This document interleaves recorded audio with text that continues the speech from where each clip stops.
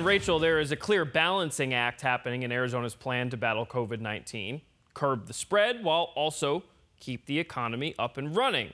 We are back in a partial shutdown, but do you think that that is enough? Should Arizona close even more businesses? 12news.com slash bullhorn is the place to vote. So, for instance, as we've been talking about, bars are closed, dine in restaurants remain open, gyms are closed, but hair salons are not. Now, those are just a couple examples of the economic balance at play here.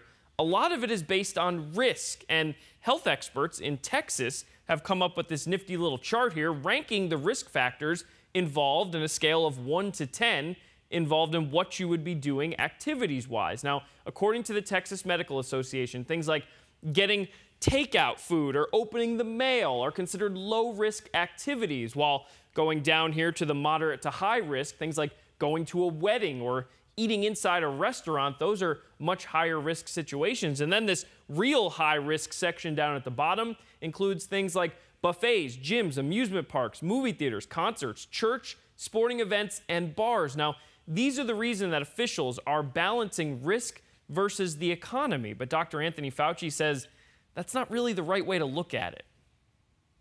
Rather than looking at the public health effort versus economic opening as if they were opposing forces, right. they're not.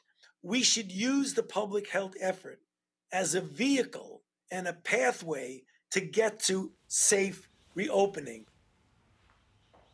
So Dr. Fauci says they should work in conjunction with each other. But here's what some of the texts we received are saying. Until businesses enforce wearing masks, not just posting a sign, we need to close them to slow the spread of COVID. These viral videos display the problem. And, and yeah, we have seen that, like that one out of Costco that we showed you a little while ago. Stop closing businesses. The virus is here to stay. Until we have a vaccine, we need to move forward responsibly and cautiously, Chris says. And then on Facebook, Laura says, yes, businesses can be recovered, people cannot.